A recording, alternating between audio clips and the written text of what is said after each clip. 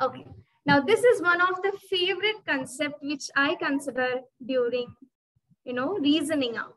Reasoning. Because reasoning is not just a verbal reasoning with numbers and values, but it is also the non-verbal cues के माध्यम से figures के माध्यम से जो हम जान पाते हैं यहाँ पे भी वही टेक्निक्स आजमानी है we have to visualise and check out कि किन यू नो किन ग्रुप्स में क्या सिमिलैरिटीज है और उसके अकॉर्डिंग डायग्राम ड्रॉ करके या फिर अपनी लॉजिक इस्तेमाल करते हुए उनको सॉल्व करना है।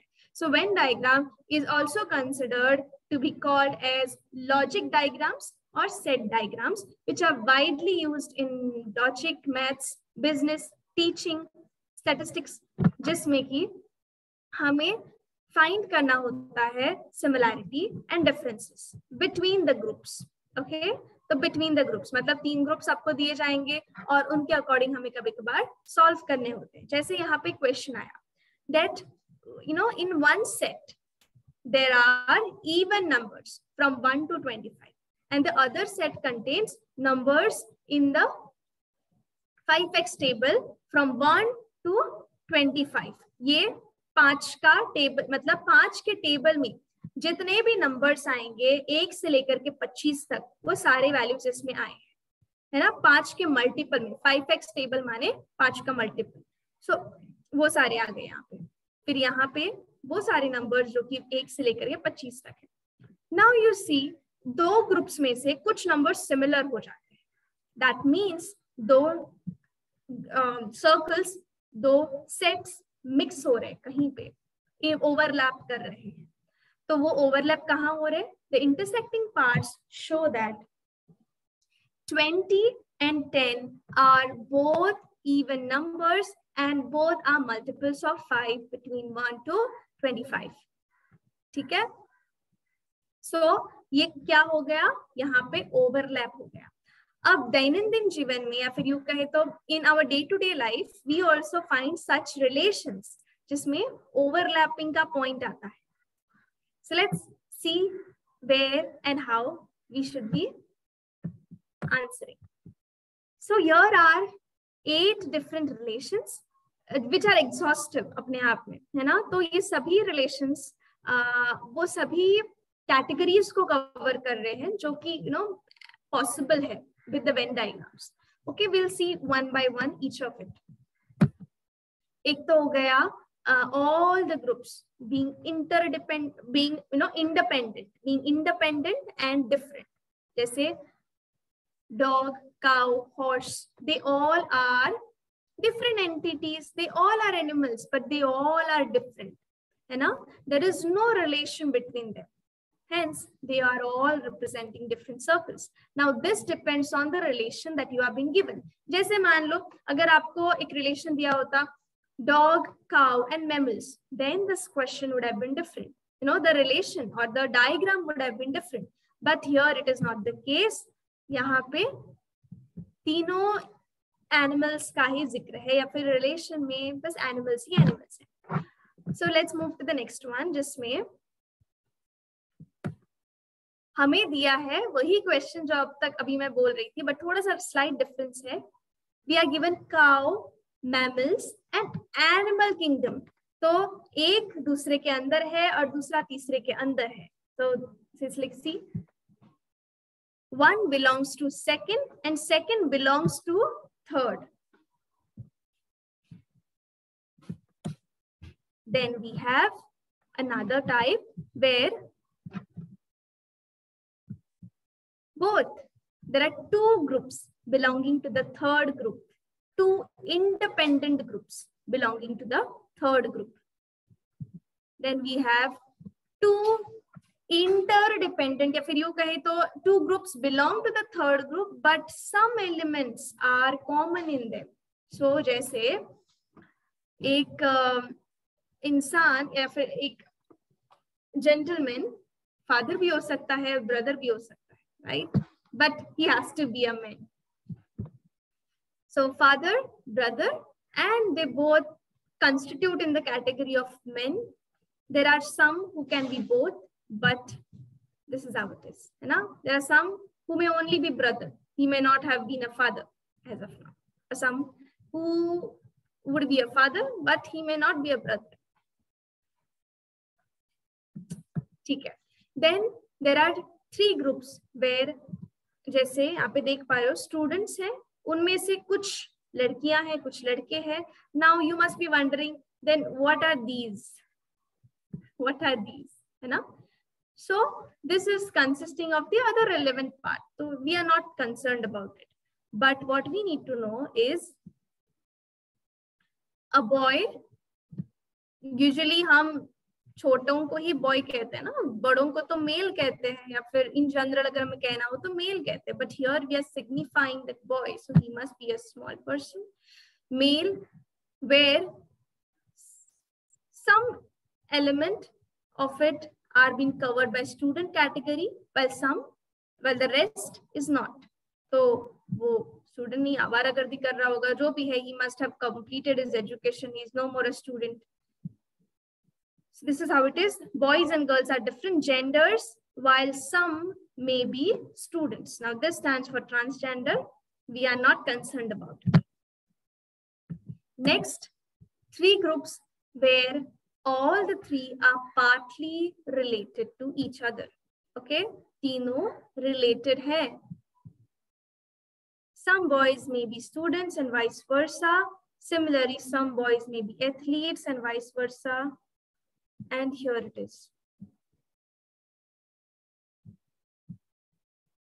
ठीक है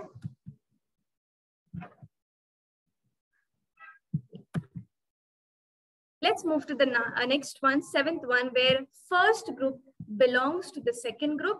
Second group is there, that's what we said. Second group अपने आप में बड़ा है, set है.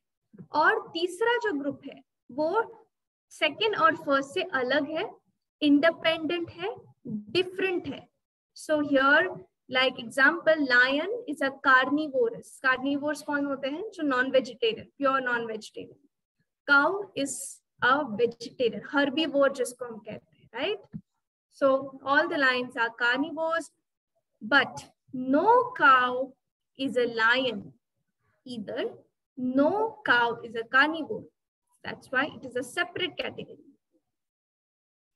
ठीक है सो दिस इज़ अबाउट अब हमें सीधा क्वेश्चंस पे मुड़ना है क्योंकि हमारा मेजर एस्पेक्ट क्या है क्वेश्चन सॉल्व करना so we'll try to understand the idea by straight away going to the questions in a class there are eight students who play hockey and football ध्यान से समझना आठ बच्चे हैं स्टूडेंट्स हैं जो हॉकी फुटबॉल खेल रहे हैं सात है हु नॉट प्ले हॉकी और फुटबॉल तेरह स्टूडेंट्स हैं who play hockey nineteen who play football how many students are there in the class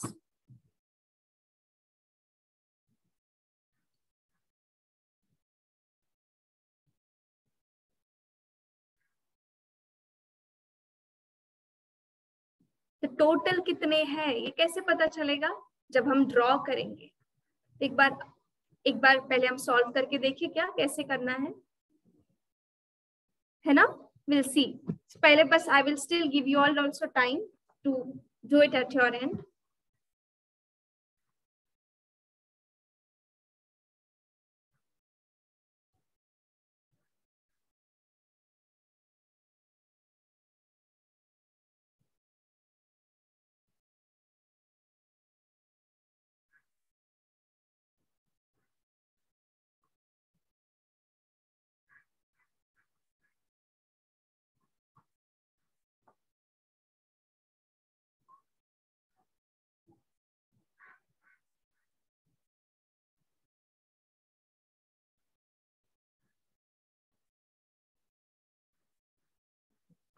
Yes, answers please.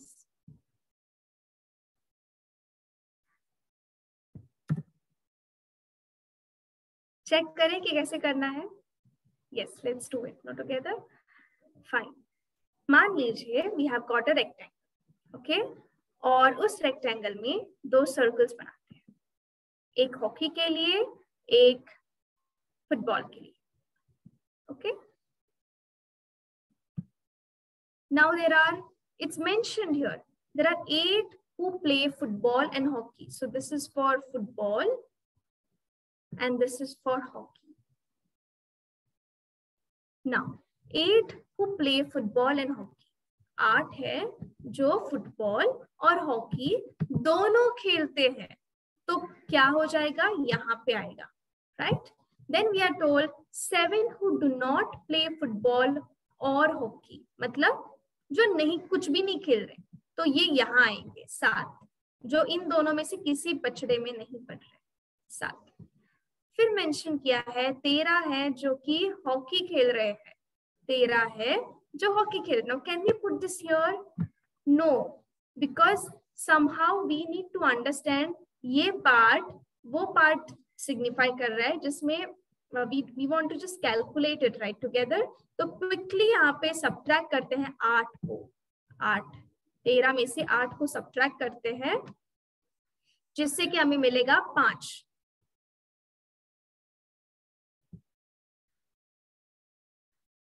Then football इस होल कैटेगरी में से आठ सब्ट्रैक्ट करते हैं, जिससे कि हमें मिलेगा ग्यारह।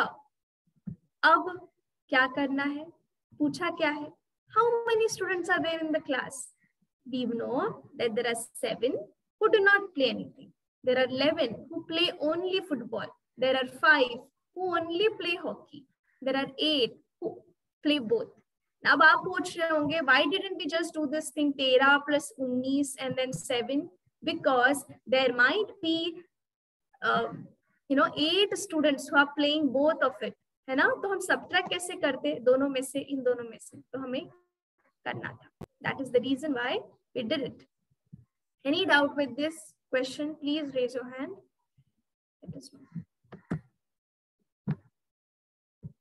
so the answer is 31 clear है?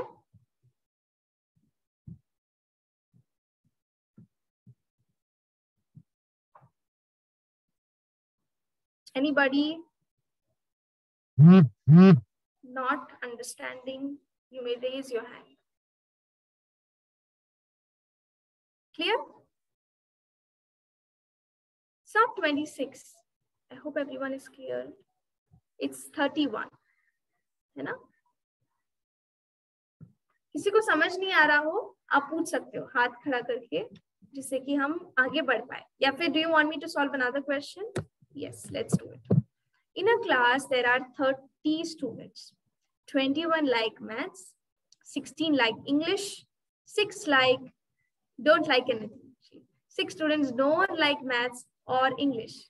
How many students like both? मतलब वो जो intersecting part था ना वो क्या है या फिर उसमें कितने हैं ये पता लगाना है Oops. Sorry.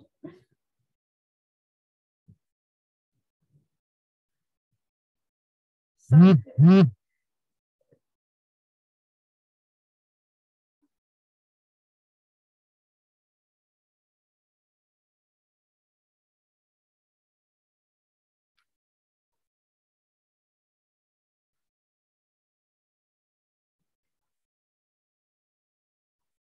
Similar here.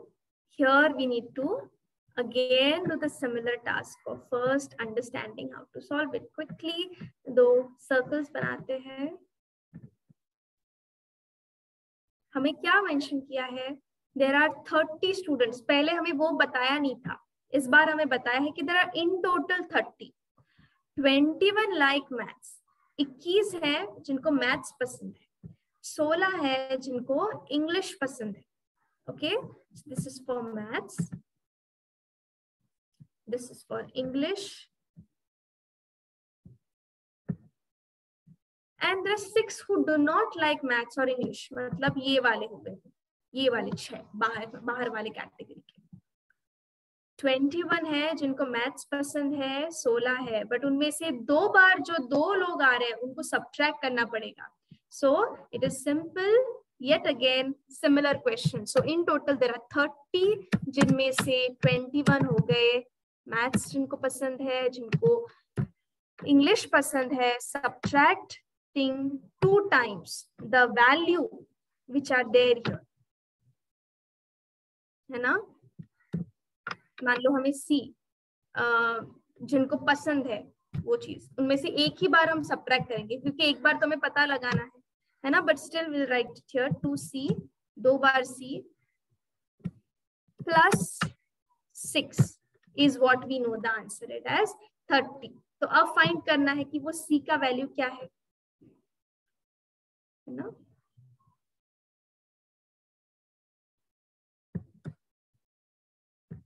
so it's simple. Uh, let me yes let me bring it here. Equation को सॉल्व करें you will get the answer it as 13 13 okay ma'am can you solve it? Yes. So here we have been told there are total 30 students total जिनमें से 21 जनों को maths पसंद है तो मैंने हमने मैथ्स लिखा। 16 जनों को जैसे अगर मैं मैथ्स का बताऊँ तो 21 जनों को मैथ्स पसंद है। 16 जनों को इंग्लिश पसंद है। But can you see are two times this part has come so that is why I am writing 2c minus 2c why because i just want this category ये यहाँ का वैल्यू मुझे चाहिए then plus those who are here so plus 6 so calculate it now So 30 is equal to 31, sorry, 3 and 7 plus minus 2c plus 6, right? So it is nothing but 2c, 2c, 2c, 2c, 2c, 2c, 2c equals to 7 plus 6. Sadhune Bharat. Tera, correct? Sorry, just a minute. Huh? This is minus c. Y minus क्योंकि यहाँ पे हम बस एक बार ले रहे हैं। Just yes बस एक बार, क्योंकि हमें बस एक बार वैल्यू चाहिए ना, दो बार आ रहा है। This value is coming two times एक बार यहाँ कवर कर लिया, फिर यहाँ भी कवर हो रहा है। But we want what we want total तो हमें ये जो दो बार आ रहा है, उसको बस एक बार रिमूव करना है। बस एक बार आप रिमूव करिए। So whatever c value you get that is the which is thirteen as the value clear है? Done